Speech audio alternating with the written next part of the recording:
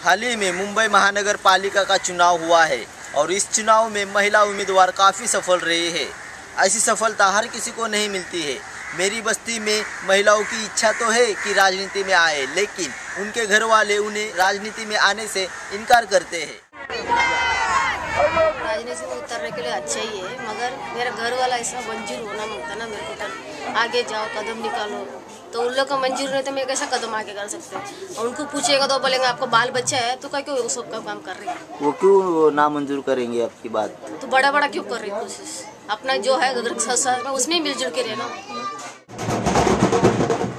महिलाओं को 50 टक्के आरक्षण होने के बावजूद भी महिलाएँ उसका लाभ नहीं ले सकती क्योंकि उनके घर से उन्हें मना किया जाता है। इसीलिए महिलाओं की प्रगति नहीं हो पा रही है। तो मुझे बताइए कि ये जो महिला वर्ग पीछे है, इसके बारे में, इसके पीछे क्या कारण हो सकता है?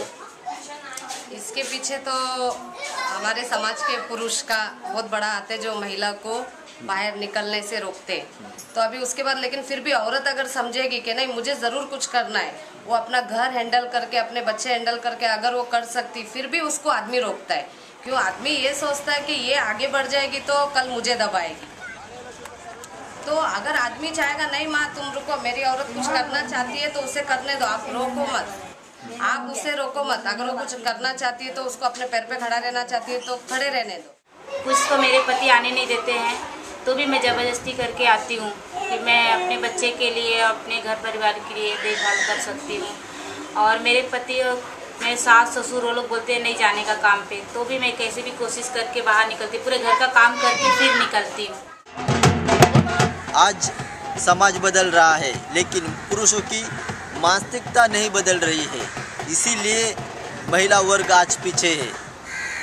मैं उम्मीद करता हूँ कि आने वाले चुनाव में महिलाओं की भागीदारी और बढ़ेगी।